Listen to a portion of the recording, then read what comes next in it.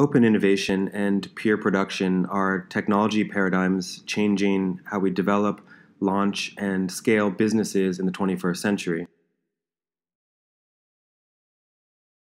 Open platform models for internet enabled collaboration, first pioneered in open source software and online wiki communities, are increasingly transforming how people coordinate digitally across time and space to design and make physical things built around maker and user communities.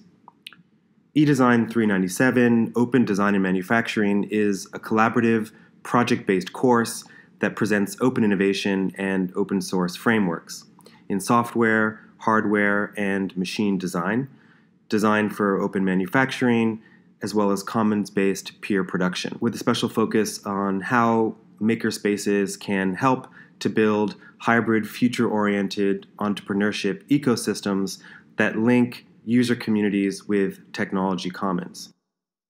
In 2014, Elon Musk released all of Tesla's patents as open source IP for essentially anyone to use to develop electric car technology. Do you know why?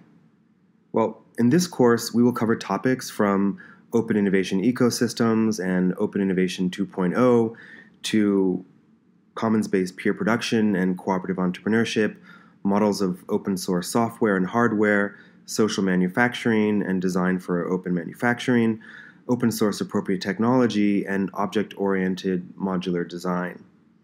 We will collaborate with makers in Ghana and West Africa to design and prototype humanitarian technology solutions that are massively scalable through open source. How people work together to build the future is changing faster than most people realize. Join us to learn how models of open innovation are disrupting how the world works today as well as tomorrow and to make cool stuff.